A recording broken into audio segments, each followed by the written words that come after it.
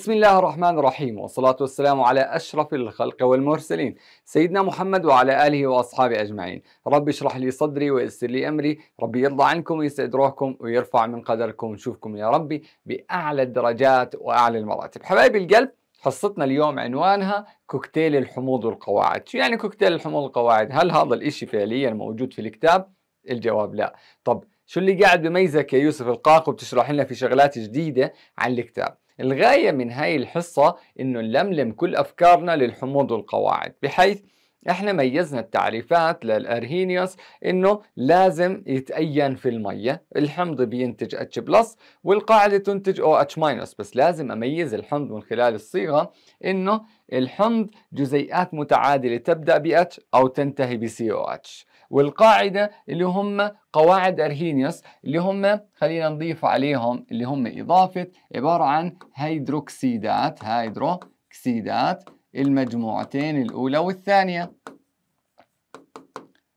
اللي هم لينا كريب مع ماج سابا اللي هم ليثو نحو كوتش وضفنا عليها اللي هي Li Na K Rb تمام؟ وكمان اللي هم ال Mg OH by 2 والسي اي أو اتش باي 2 والبي اي أو اتش باي 2 هذول اللي هم قواعد أرهينيوس تمام؟ بحيث إحنا قلنا المطالبين فيهم المشهورين الثلاث اللي هم ليثو نحو كوتش. وإحنا ميزنا برونستد لوري إنه آه كلمة بروتون هي دلالة التعريف بحيث بروتون برونستد والمانح حمض والمستقبل. هو قاعدة وميزنا من خلال التفاعل انه الحمض يقل H والقاعدة بتزداد H وعلى اساسها حددنا بعديها الأزواج المترافقة. بعديها رتبنا الأفكار كاملة بحيث قدرنا نميز الحمض والقاعدة والحمض المرافق والقاعدة المرافقة.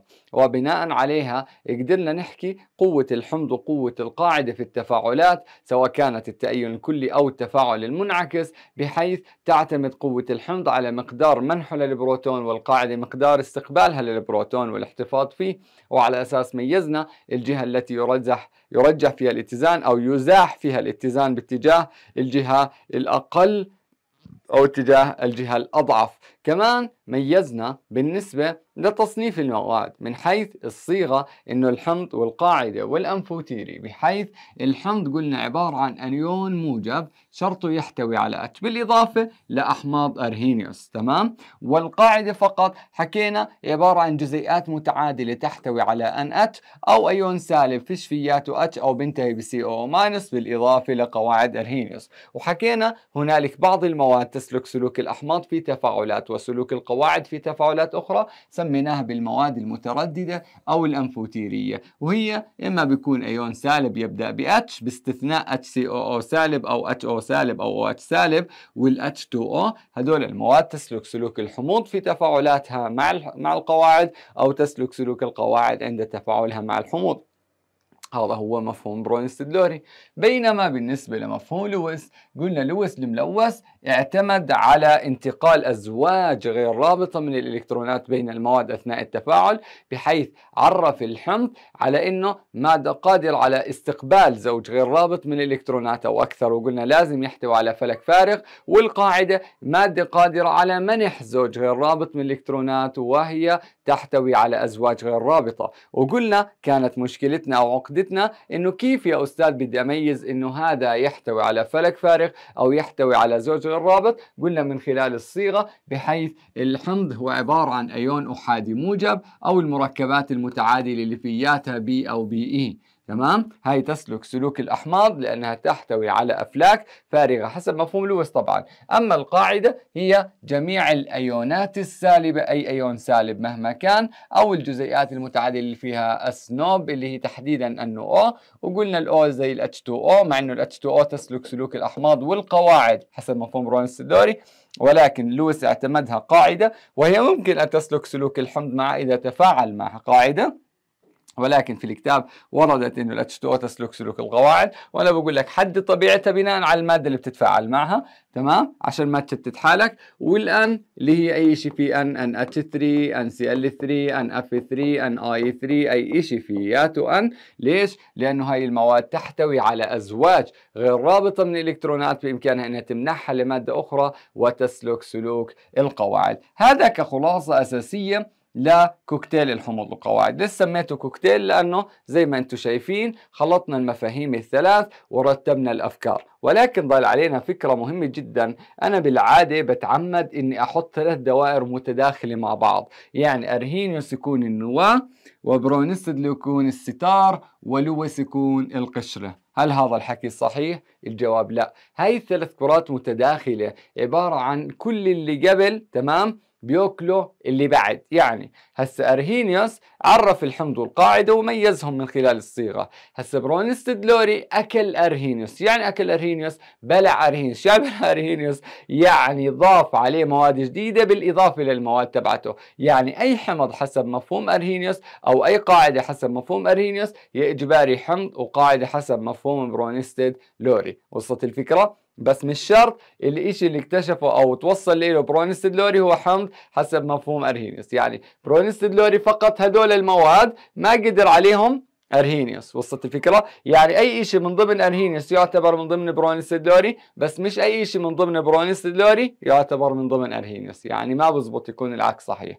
نفس الشيء أستاذي أي شيء حسب مفهوم برونستدلوري هو إجباري حسب مفهوم لويس اللي بينطبق عليه. تمام؟ بحيث اعترف فيه برونستد لوري اعترف فيه لويس بحيث يسلك سلوك الحمض أو يسلك سلوك القاعدة حسب مفهوم برونستد لوري اذا إجباري هو يسلك سلوك الحمض أو القاعدة حسب مفهوم لويس ولكن مش شرط أي شيء حسب مفهوم لويس يعتبر حسب مفهوم برونستد لوري لأنه هذول اللي توصل لهم لويس أحماض وقواعد لويس لا تعتبر أحماض وقواعد ضمن برونستد لوري يعني باختصار أي حمض وقاعده حسب مفهوم أرهينيوس هو حمض وقاعده حسب مفهوم برونستد لوري بس العكس لا. أي شيء آه، كحمض وقاعده حسب مفهوم برونستد لوري هو كحمض أو كقاعده حسب مفهوم لويس بس العكس غير صحيح. وصلت الفكرة؟ ولكن الآلية اختلفوا فيها. كيف يعني الآلية اختلفوا فيها؟ يعني ركز معي. هسه أنا مثلا لو جيت أفسر السلوك الحمضي أو أفسر السلوك القاعدي للمواد يعني مثلا لو جيت قلت لك فسر السلوك الحمضي مثلا ل HCl حسب مفهوم. مثلا إذا بدي أفسر حسب مفهوم أرهينيوس كيف بدي أفسر حسب مفهوم أرهينوس؟ بكتابة معادلة تأينها في الماء بحيث باجي بحكي هون إنه ال HCl يسلك سلوك الحمض حسب مفهوم أرهينيوس معادلة تأين وتأين كلي لأنه حمض قوي فبالتالي بده يتفكك على شكل أيونات H بلس زائد Cl minus هذا التفسير العلمي الصحيح لأرهينيوس ولكن لو بدي أفسر السلوك الحمضي ل HCl حسب مفهوم برونستد لوري تمام؟ مع إنه يعتبر حمض حسب مفهوم ارهينس ولكن كمان حمض حسب مفهوم برونستد لوري. حسب مفهوم برونستد لوري ما بكتب معادله تأينه في الماء. بنفسره بكتابة معادلة تفاعله مع الماء أو مع أي قاعدة مش شرط المي لأنه أرهينوس اشترط المي ولكن برونستد لوري مش شرط المي أي قاعدة أنت بتختارها أي مادة يمكنها إنها تسلك سلوك القواعد بحيث بينتج عندك هون H3O زائد Cl تمام؟ فبحيث لما أجي أنا أفسر السلوك حسب مفهوم أرهينيوس أنا كتبت معادلة تأيينها في الماء ليش؟ لأنه هاي المادة ما دامها حمض تنتج أيون الهيدروجين H plus عند إذابتها في الماء فعشان هيك أنا اعتبرتها شو مالها؟ اعتبرتها حمض حسب مفهوم أرهينيوس طب حسب مفهوم برونستد لوري ليش اعتبرتها حمض؟ لأنه بعتبرها مانح للبروتون أثناء التفاعل بحيث هون أنا بعتبرها مانح للبروتون أثناء التفاعل. ولكن لو أنا نفس المادة وعلى نفس التفاعل بدي أفسرها حسب مفهوم لويس للحموض والقواعد لما أجي أفسرها حسب مفهوم لويس ممكن أكتب نفس المعادلة. أجي أقول HCl زائد H2O تمام؟ بتصير على شكل H3O plus زائد Cl minus تمام؟ نفس المعادلة بس التخ... التفسير اختلف. كيف التفسير اختلف؟ هسا لويس ما قال إنه ال HCl عبارة عن مانح للبروتون وال H2O مستقبل للبروتون. لويس عكس الآية. لويس قال إنه ال H2O مانح لزوج غير رابط من الإلكترونات. وال H تحديدا شايفين الحمض هذا؟ ال H plus في ال HCl عندما تتأين في الماء يعني ال H2O ما بتتفاعل مع ال HCl تتفاعل مع ال H plus ليش؟ لأنها تحتوي على أفلاك فارغة والأكسجين فيها أزواج غير رابطة فلذلك هنا بعتبر أنه هاي المادة قاعدة وبعتبر هاي المادة حمض ليش؟ لأنه هاي المادة قاعدة فيها أزواج غير رابطة مانحة لزوج غير رابط بالإلكترونات لل H plus في ال S اللي بيحتوي على فلك فارغ فلذلك أي حمض حسب مفهوم أرهينيوس أو حسب مفهوم برونستد لوري إذا أنا بدي آجي أفسره على إنه إيش حمض حسب مفهوم لويس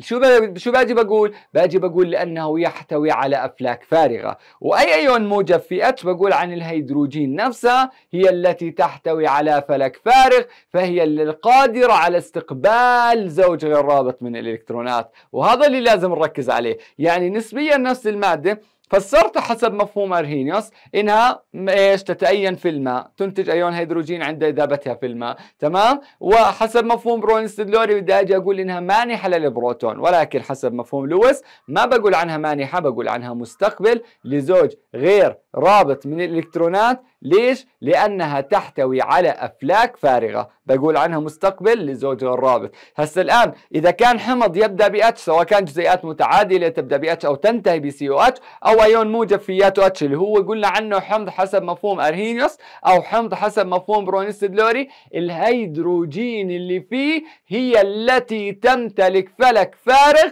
وهي القادرة على استقبال زوج الرابط من الإلكترونات. وصلت؟ هيك لويس فسر السلوك الحمضي للمواد. فهيك أستاذي أنا بدي أميز الأساس العلمي اللي اعتمدوا عليه العلماء في تفسير السلوك الحمضي أو القاعدي للمادة نفسها سواء كان أرهينيوس برونستد لوري لويس. طيب هسه الآن أستاذي هذا الإشي فهمناه. يا ريت إذا ما فهمت أستاذي ترجع تعيد نفس الفكرة. إذا أنت عندك مشكلة في جزئية هون أستاذي عيد الجزئية هاي. عيد الجزئية هاي في التفسير سواء كان أرهينيوس لوري أو لويس عيدها بالشرح التفصيلي. اتفقنا؟ الموضوع جدا بسيط وجدا سهل. اللهم بس أنا باجي بقول لك بدك تميز حسب مفهوم الهينوس شو بدها تكون حسب مفهوم لوري شو بدها تكون وحسب مفهوم لويس شو بدها تكون. صلوا على النبي. اللهم صل على سيدنا محمد. طب لو أنا جيت قلت لك فسر السلوك القاعدي مثلا لأي قاعدة بدك إياها. انيوات عشان إيش؟ ينطبق عليها التفسير لجميع التفس... إيه، التعريفات. حسب مفهوم أرهينيوس بدي آجي أفسر السلوك مين الحمضي أو القاعدة عفوا أو حسب مفهوم برونستد لوري أو حسب مفهوم لويس. هسا هيك اعتبرناها قاعدة. حسب مفهوم أرهينيوس قلنا قاعدة قوية تتأين كليا في الماء والموضوع جدا بسيط. إيش؟ تنتج أيون الهيدروكسيد OH minus. يا سلام يا سلام. فلذلك أنا اعتبرتها قاعدة حسب مفهوم ارهينيوس إنه هاي المادة شو مالها؟ تنتج أيون ال OH minus عندما تتأين في الماء. يا سلام يا سلام. طب أنا بدي أعتبرها قاعدة حسب مفهوم برونستدلوري هل الانيواتش قادرة على استقبال بروتون من مادة أخرى؟ مش تعريف القاعدة حسب مفهوم برونستد لوري إنها مادة قادرة على استقبال بروتون من مادة أخرى؟ بتقول لي آه. بقول لك الانيواتش ما بتقدر تستقبل بروتون. مش هي اللي بتستقبل البروتون ال OH minus هي اللي بتسلك سلوك القاعدة عند تفاعلها مع غيرها من المواد. فال OH minus وكل قواعد كل هيدروكسيدات هيدروكسيدات المجموعتين الأولى والثانية هم اللي فيهم OH استاذي اللي اعتبرهم أرهينيوس قاعدة. لو جيت أفسرهم حسب مفهوم برونستد لوري مش الاني اتش ولا ال KOH ولا الاي اتش ولا السي اتش 2 ولا بي اتش 2 ولا الام جي اتش 2 هي اللي بتسلك سلوك القاعدة حسب مفهوم برونستد لوري أو بالأحرى مش هي اللي بتستقبل البروتون حسب مفهوم برونستد لوري ولا مين؟ ال OH minus. هي اللي بتستقبل البروتون. عند تفاعلها مع أي حمض شو ما كان مثلا إتش سي إن إتش بي آر إتش آي إتش 3 أو بلس كله شغال بحيث هنا تسلك سلوك القاعدة ال OH minus وال H3O plus. أو أي مادة شو ما كانت أي حمض شو ما كان أستاذي أنا بفسرها بأنها تفاعلها مع أي حمض شو ما كان بيعطيني اللي هو الاتش 2 أو زائد الاتش 2 أو. أو بدك إياها في ناس بقول لك أستاذ إتش 2 زائد إتش 2 شو هذا؟ مش فاهم. شو قاعد بتخبص أستاذ ولا فهم ولا شيء ولا كأنك أنت قعدت ب 12 حصة تشرح كل المفاهيم وتفصلها بالتفسير المهم. ففي ناس خلص بتلاقيه بحضر الحصة من هون بكب المعلومات من هون. خلص الحصة اللي بعدها يلا خلينا ننجز بدي أختم بدي أخلص. أقسم بالله أنت أقسم بالله حلال فيك الشلويط شو أنت جاي هون تلفق؟ جاي هون تحضر بس هيك يلا بدي أخلص. شو إحنا باقيين نلعب مع بعض؟ شو مفكر أنت؟ إحنا جايين هون ندرس. جايين نهتم. جايين نجيب علامات تبيض الوجه وترفع الراس. بدنا نجيب علامات كاملة. ولا؟ أنا ما بمزح فكرة. معصب. طيب فهون ال OH minus فاعلها مع أي حمض في مكان. أي حمض الطقاع زي ما بدك أستاذ. أي حمض أختاره. مش مشكلة. المهم لما أجي أقول إنه ال OH minus هي القاعدة. ليش لها قاعدة؟ لأنها قادرة على استقبال بروتون من مادة أخرى.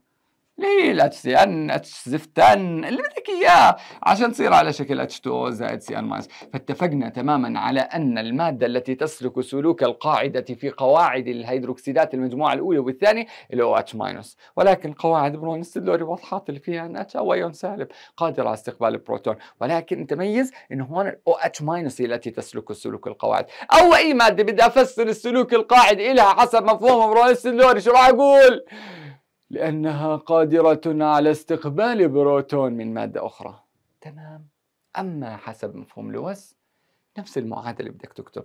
يعني لويس في المعادلة ما بيفرق عن إيش؟ عن عمو الزفت برونست دولوري بحيث لما أجي أقول أو إتش ماينس لما تتفاعل ها لما تتفاعل مع الحمض بدها تتفاعل مع أيون الهيدروجين. الاتش بلس فياته اللي هو اللي فياته فلك فارغ. في الأحماض اللي فيها جزيئات متعادلة تبدأ ب H أو تنتهي سي أو إتش أو أيون موجب فياته أتش اللي هم أحماض برونستدوري باجي بقول إنه يحتوي على فلك فارغة من الإلكترونات بين ال OH ماينس هي التي تمتلك زوجا غير رابط فقادرة على منحها. فلذلك باجي أقول أنا هون ال OH ماينس طبعا هي المعادلة كتفسير علمي. تمام؟ بس ما في داعي تكتبها لأنه السؤال ضاع. دائرة واحد اثنين ما بطلب منك تكتب المعادلة. ثلاث أنت بس بدك تفهم الأساس العلمي إنه القاعدة حسب مفهوم لويس شو مالها؟ قادرة على منح زوج غير رابط من الإلكترونات.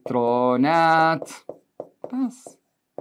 يعني أستاذي ببساطة لما أجي أحكي أنا بدي أفسر السلوك الحمضي للمواد حسب مفهوم ارهينيوس الحمضي تتأين في الماء تنتج H plus حسب مفهوم برونستد لوري مانحه للبروتون حسب مفهوم لويس قادرة على استقبال زوج غير رابط من الإلكترونات تحته افلاك فارغة. ما كتبتهاش هون؟ أنت اكتبها. أما بالنسبة للقاعدة بدي أفسر السلوك القاعدي إن شاء الله للقلم هاض أنت قاعدة. أنت شو؟ ولك أنت قاعدة. أنت إيش؟ انت قاعدة. حسب مفهوم ارهينيوس ما دام قاعدة بدك تتأين في المي وتنتج. أوه فيروس غصب عنك. أما حسب مفهوم برونستد لوري بدك تستقبل بروتون. ماشي؟ طيب حسب مفهوم لويس بدك تمنح زوج غير رابط من الإلكترونات. ماشي ولا؟ ماشي؟ أقسم بالله. طيب فبالتالي أنت هيك بتفسر حسب التعريف. المهم تركز على أساس شو ما كانت المادة بدك تعتبرها حمض ولا بدك تعتبرها قاعدة. صليت على النبي. اللهم صل وسلم وبارك على سيدنا محمد.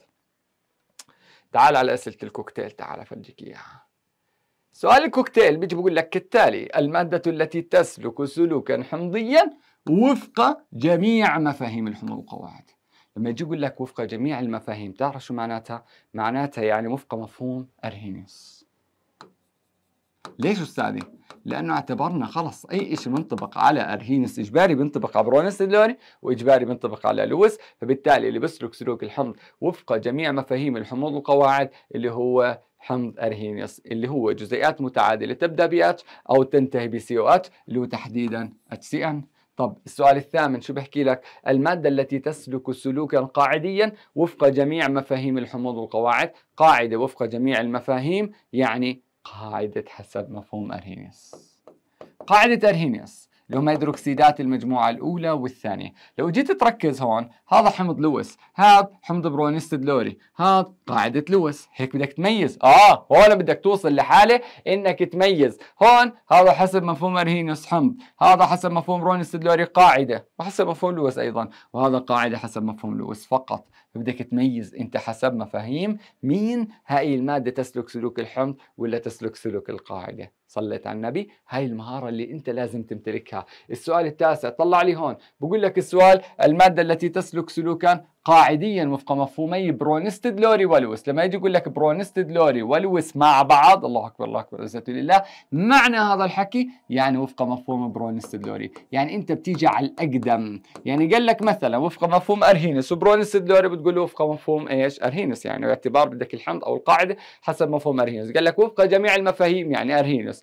قال لك وفق مفهومي برونستد لوري ولويس يعني بدور على الأقدم بينهم اللي هو وفق مفهوم برونستد لوري لو جيت تطلع هون HCN يعتبر حمض للجميع. حسب مفهوم أرهينيوس؟ اذا حمض للجميع. الآن ان أو اتش قاعدة حسب مفهوم أرهينيوس؟ إذا قاعدة للجميع. CN minus هي قاعدة حسب مفهوم برونستد لوري وقاعدة حسب مفهوم لويس في الجواب جيم NF 3 هاي قاعدة حسب مفهوم لويس فقط. تمام؟ فبالتالي ما بتزبط إنها تكون قاعدة حسب مفهوم برونستد لوري السؤال العاشر. بحكي لك السؤال المادة التي تسلك سلوكا حمضيا وفق مفهومي برونستد لوري ولويس فقط. لما يجي يقول لك حمض وفق مفهوم برونستد لوري ولويس يعني وفق مفهوم برونستد لوري يعني هذا اللي إحنا لازم نشتغل عليه. هسه طب متى اخذ لويس لحاله؟ لما يقول لك وفق مفهوم لويس فقط وأخذناه الحصة الماضية فالموضوع جدا بسيط. فبالتالي هون تيجي تطلع HCN جزيئات متعادلة تبدأ ب اتش أو تنتهي سي أو اتش هذا حمض وفق مفهوم ارهينوس وفق مفهوم برونستد لوري وفق مفهوم لويس. فاذا ما ما بيكون وفق مفهومي برونستد لوري ولويس فقط خطأ. HCOOH حمض وفق وفق مفهوم أرهينيوس. وبرونستد لوري ولويس. أي شيء يعني هون بدك تطرد أرهينيوس من الساحة. تمام؟ لأنه انطبق على ارهينوس بينطبق على برونس بينطبق على لويس. بس هون قال لك برونستد لوري ولويس. يعني باعتبار برونستد لوري يعني أيون موجب يحتوي على H تمام؟ بس بدك تميزه. فهذا أيون موجب يحتوي على H اذا يسلك سلوك الحمض حسب مفهوم برونستد لوري ويسلك سلوك الحمض وفق مفهوم لويس. طب هل ال NH4 plus يعتبر أيون أحادي موجب حسب مفهوم لويس عشان نعتبره قاعدة؟ الجواب لا. ولكنه ال H plus فيه هي تعتبر أيون أحادي زي ما حكيناها قبل شوي هي التي تحتوي أو تمتلك أفلاك فارغة فتعتبر حمض حسب مفهوم لويس. تمام؟ بينما ال NH3 هي قاعدة وفق مفهوم برونستد لوري وقاعدة حسب مفهوم لويس. والآن جينا مع التجربة العملية للحموض والقواعد وتجربة التحليل والاستنتاج.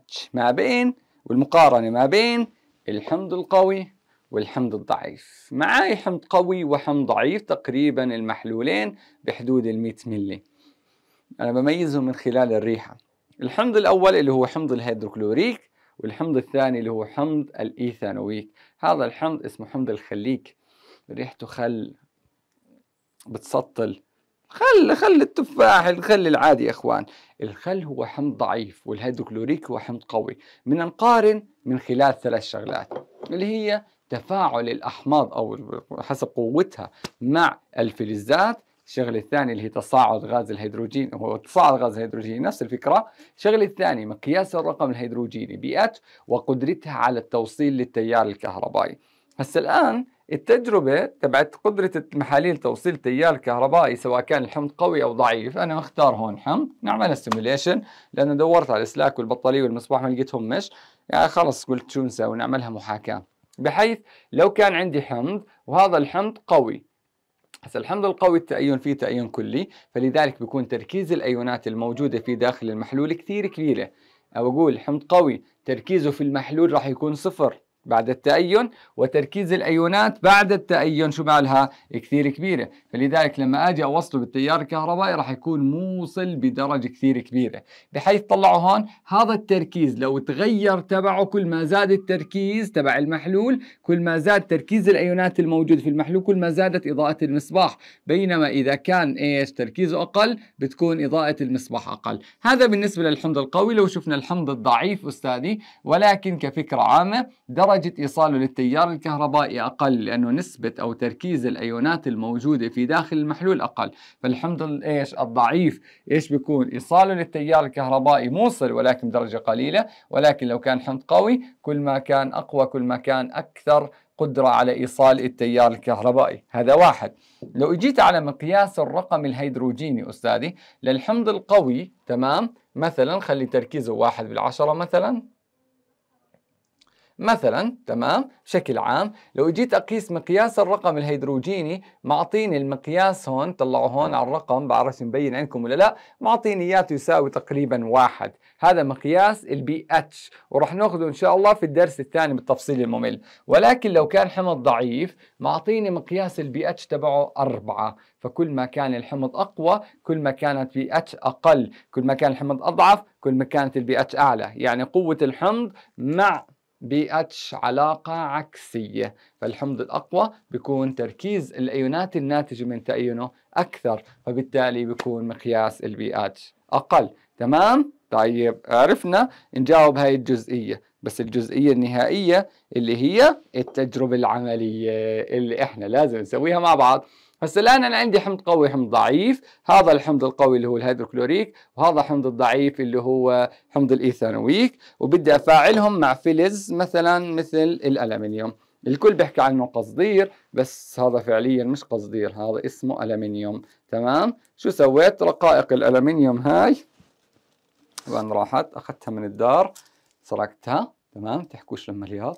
وقصقصتها. وشو سويتها؟ عملتها زي شكل كرات في هذا الشكل. تمام؟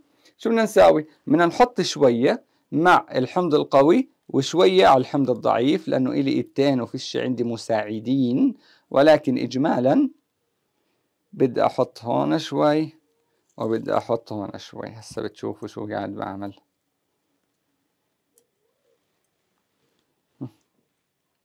هسا عندي هون هذا المحلول حمض قوي وهذا المحلول حمض ضعيف. طلعوا الحمض القوي إيش ماله؟ التفاعل فيه أسرع شايفين؟ شايفين؟ هيو أما الحمض الضعيف تفاعل جدا بطيء. هسا الحمض القوي طلعوا هسا هذا حمض قوي هذا حمض ضعيف طلعوا. قديش الغاز؟ هذا غاز الهيدروجين اللي طالع. خايف أبقى يبقى بوجهي بسم الله الرحمن الرحيم. سمعتوا صوت النار؟ سمعتوا؟ شوف النار كيف. تجربة كثير حلوة. أنا لو طفيت الضوء تمام؟ بتشوفوا إيش؟ بتشوفوا الموضوع بإيش؟ بشكل أقوى. يعني لو حطينا كمان أوه أنا مظلم. هاي بدي أحط كمان قطع بس أنتم مش شايفيني أنا شايفيني أسود صح؟ طفيت الضوء عشان أنتم فعليا تشوفوا التفاعل أو تشوفوا النار اللي بتطلع. نتيجة تصاعد غاز الهيدروجين. طبعا هاي التجربة بنسويها لكل طلابنا الموجودين في في المدارس أو في المراكز. كيفوا عليها. يلا تفاعل اتفاعل. بسم الله الرحمن الرحيم. شوفوا النار شوفوا. شايفين النار؟ هيا. بعرفش مبينة ولا لا؟ لأنه أنا مش شايف إذا أنتم شايفين. هاي النار جوا وين؟ جوا هذا الإيش شفتوها؟ بس لو طفيت هاي. الشاشة. بدي إياكم تشوفوا النار بطريقة أوضح لأنه الشاشة بجوز كانت عاكسة. شو عليك؟ هاي طفت أنتم مش شايفين ولا إشي هسه صح؟ بفرجيكم النار اللي بتطلع نتيجة تصاعد غاز الهيدروجين. عشان تقول الأستاذ يوسف القاق والله بيسوي لنا تجارب حلوة. فيها نار بتولع. طبعا صارت سخنة كثير مش قادر أمسكها زي العالم والناس. ولكن هي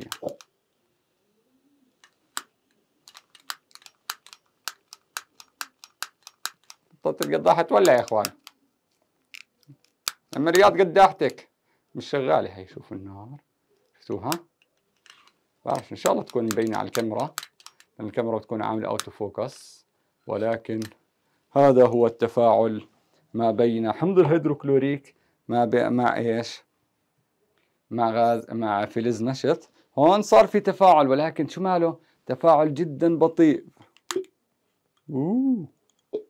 طلعوا سامعين الصوت؟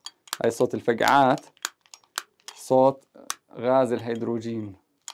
بس لأنه في الأكسجين جوا قليل مش راضي تولع القداحة. ولك ولعي بسم الله. شفتوا كيف؟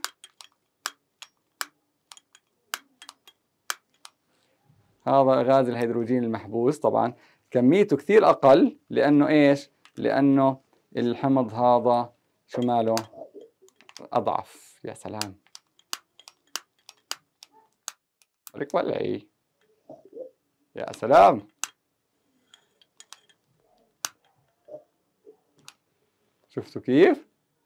يا رب تكوني واضحة.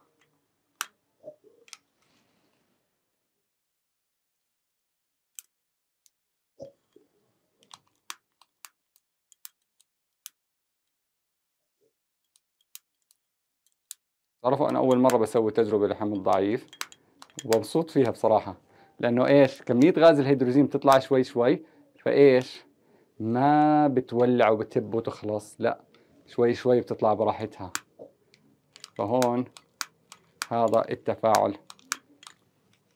هسه الناس شو بتفكر؟ بفكر إنه هذا حمض ضعيف فإيش؟ كمية الغاز الهيدروجين أكثر. لا هو كمية غاز الهيدروجين أقل بس هناك لأنها بتطلع مرة واحدة هون بتطلع بدرجة أقل. هبت النار والبارود غنى.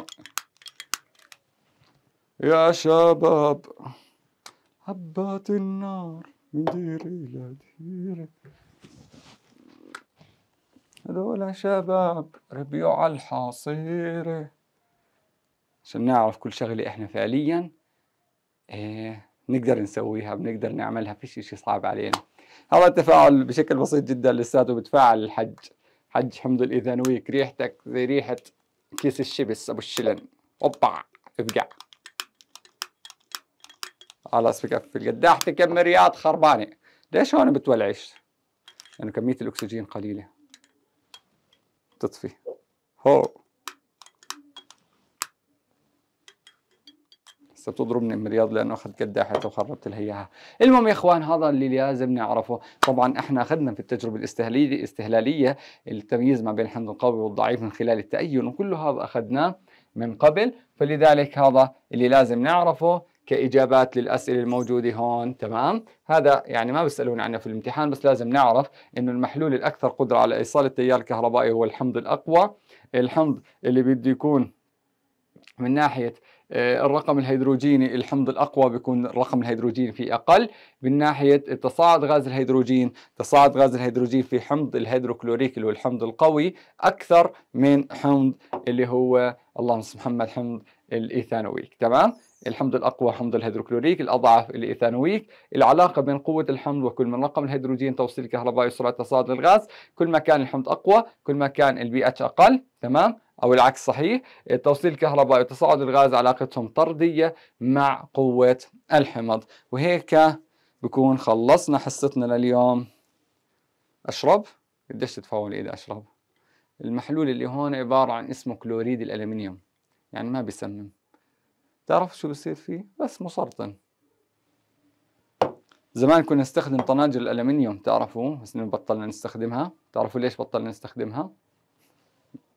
لأنه معدتنا فيها حمض الهيدروكلوريك والألمنيوم بتفاعل مع حمض الهيدروكلوريك.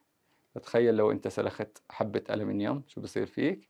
جوا معدتك بتصير زي هيك. يا سلام لو سلخنا ألمنيوم انسى بصير الوضع تمام. تصير تطلع غاز الهيدروجين هيك تصير تنين بس هيك وولع تولع النار. بايخة.